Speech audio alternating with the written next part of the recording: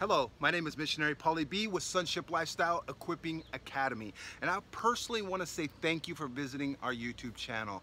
And I want to give you a personal invitation to go down real quick, hit subscribe, and come back and visit us daily. We get new videos every day. And like I always tell all of our viewers, remember this, you don't live towards the prophetic word you live from the prophetic word of God. Now I'm strategically hearing the voice of the Spirit of God say this I am your everything that you will ever need.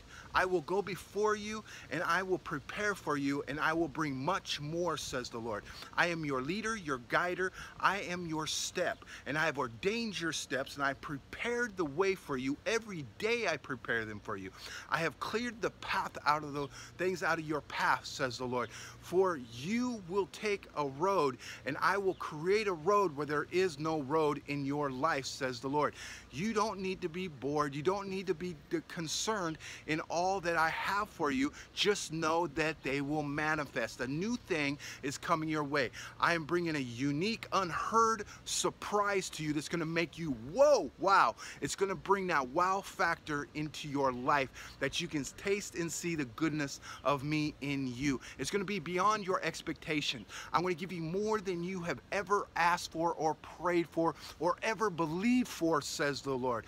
I want you right now to look beyond the the, the near. I want you to look beyond the now, says the Lord. And yes, I want to sustain your eyes as you gaze into the vastness of my harvest field and see what I've set before you.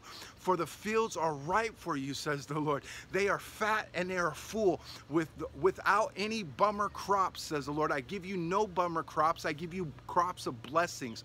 For as you have sown in tears, you shall reap in joy, says the Lord.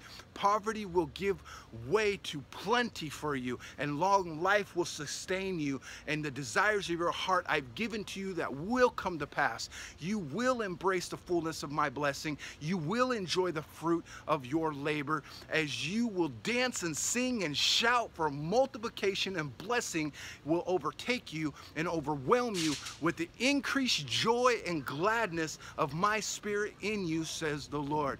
Now, guys, I want you to please take a moment. Would you please comment below? Let me know know exactly what it is that God spoke to you today and how it affected and how it blessed you, okay? Please, I want to encourage you. I want you to know I will reply to all the messages. I take personal concern in what you and have to say. This is Missionary PaulyB.